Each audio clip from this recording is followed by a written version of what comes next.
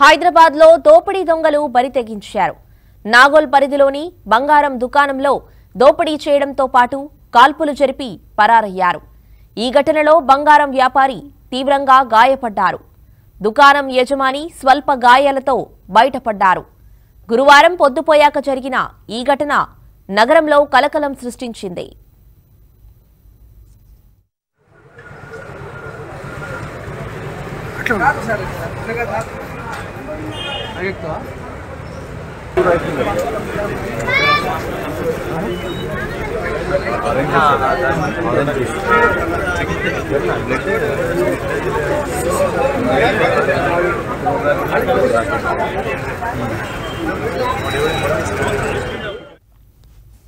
రాజస్థాన్ పాలి జిల్లా చైతరన్ తహసీల్కు చెందిన కళ్యాణ్ చౌదరి వనస్థలీపురంలో ఉంటూ స్నేహపురి కాలనీలో మహదేవ్ జ్యువెలర్స్ పేరిట బంగారం వ్యాపారం నిర్వహిస్తున్నారు.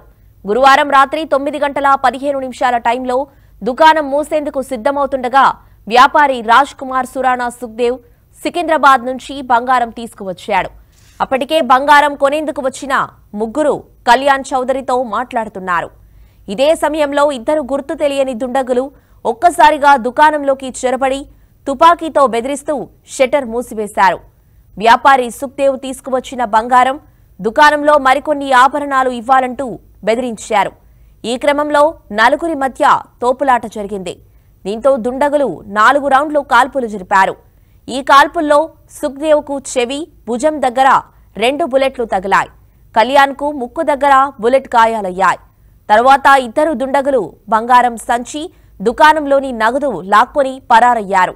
అయితే ఎత్తుకెళ్ళిన మొత్తం విలువ తెలియదని పోలీసులు చెబుతున్నారు గాయపడ్డ ఇద్దరిని హాస్పిటల్కు తరలించారు.